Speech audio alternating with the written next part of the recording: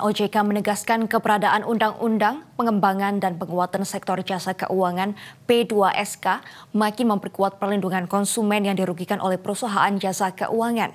Salah satu kewajiban ganti rugi konsumen yang harus dilakukan perusahaan jasa keuangan jika terjadi pelanggaran.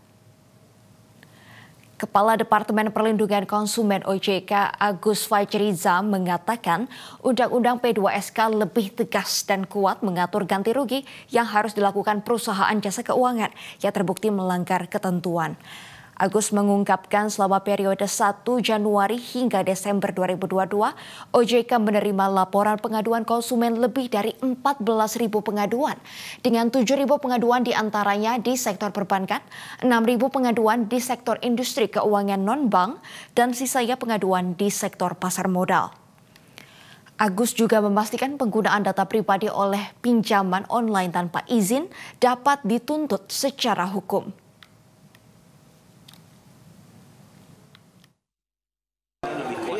Lebih kuat lagi, lebih dipertegas lagi memang ada kewenangan.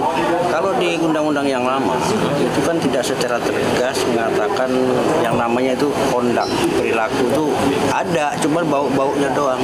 Nah, tapi di sini di ketentuan yang baru ini jelas kondak itu disebut ada kondak itu, kondak itu. Ini sudah tegas itu.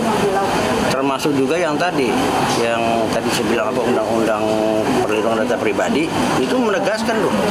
Jadi kalau data kita dipakai tanpa izin kita, wah kena tuntut ya. Ya, selama ini kan yang pinjal-pinjal itu kan main data orang dihajar juga. Padahal sudah ada aturan tadi yang saya bilang camilan. Itu udah jelas. Tapi masih